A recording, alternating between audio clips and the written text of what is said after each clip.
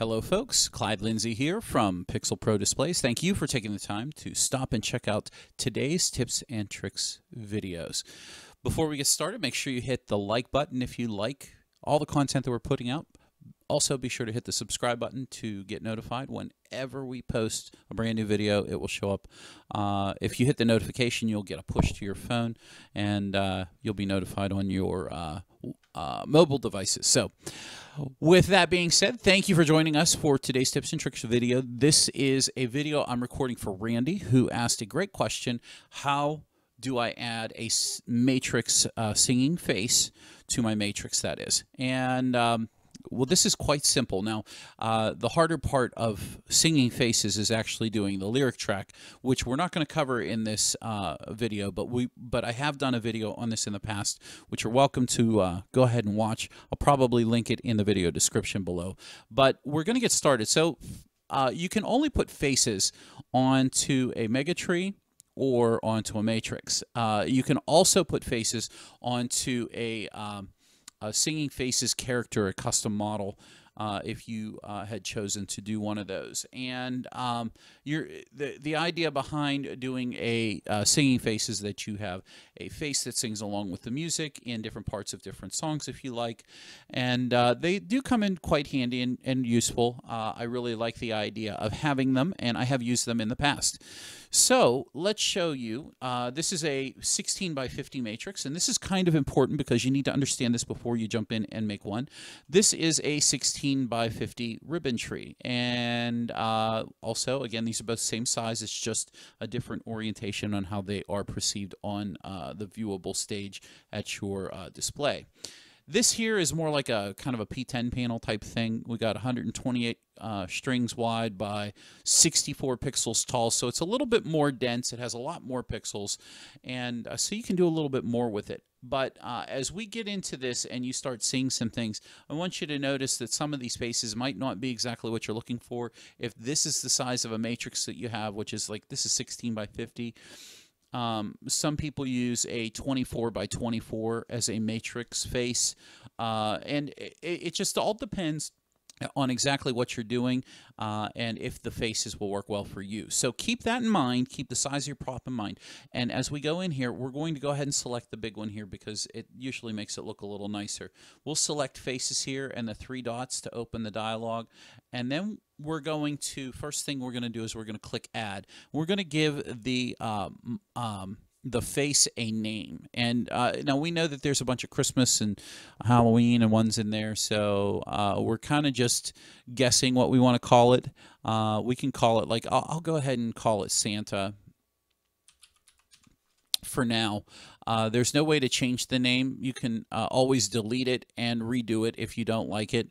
Uh, if you find that what you're looking for isn't exactly what you wanted, um, or we don't have it in as far as it's not available in the downloads, let's, let's say. So uh, next we're going to go down here to the next drop down. We're going to go and select matrix. And when you do, you get this download images uh, button, which allows you to open up. Now, here are some of your options. Because you can't change the name, uh, maybe Keith is watching this now. Maybe he'll add a change name button for the name of the, the face definition because you realize that, oh, I want to have Sandy Santa Claus, and Santa Claus doesn't have a matrix space that fits mine, which is 128 by 64. Um, but uh, they should scale. I believe they should scale. But if we go in and we select, like here's Santa. He's really big though, 112 by uh, one, uh, 1248 or 1240 by 1252. Here's Santa waving, which is 1200 by 1200. We have Mrs. Claus at 300. That's a reasonable one. Here we've got Aussie Santa. And we have Mrs. Claus here. Okay. So uh, this is. Um, there's a maximum and a minimum in here too, so that, that kind of helps you. Oh, okay, she she can be as small as 40 by 40. Uh, that's still bigger than the 24 by 24 that uh, that I recommended. Um, so let's go with the Aussie Santa. Let's just see what the heck happens here because I haven't tried this yet. Uh, we'll go ahead and insert the face and it auto populates right to the uh, matrix. We'll go ahead and click OK. We'll click Save. And now let's go over here And let's go into the matrix one here and let's go ahead and lay down the faces effect. And I've already gone through and, and obviously you know that we that uh, we, have we went through now the size of the matrix is determined by the way you have it in the layout here. So it's in this rectangular form here. It's not it's not top to bottom. It's it's it's uh, horizontal versus vertical.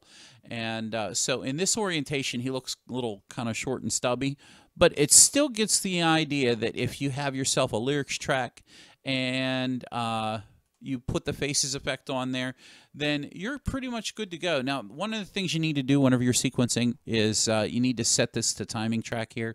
Drop down the drop down to select the timing where you have the lyric track placed, and that's how you get it to work. And then ob obviously here too, you want to change this uh, uh, face definition to uh, the correct definition. Now, uh, many people don't know this. Uh, I'm going to go ahead and throw this, throw another uh, faces effect down here. Um, and go across. But you can see that we have Santa selected because that was in this other effect here. But the Megatree doesn't have any definitions in them. I'm going to change this to rendered. And there actually is a pre-rendered face that's built into Xlight. So if you don't want to build a, uh, a face or download one, there is a basic face that you can just use uh, that's available. Um, I think there's an outline for him too. Yeah, look, he gets outline. Looks like a ghost. It's actually kind of cool. So, uh, folks, there, I hope you enjoyed this tips and tricks video. There's more on singing faces on the video down below. I'll put it in the description of the video. And uh, if you like the video, make sure you like it, share it with, with your friends. If you loved it, remember to subscribe by hitting the big red button down below.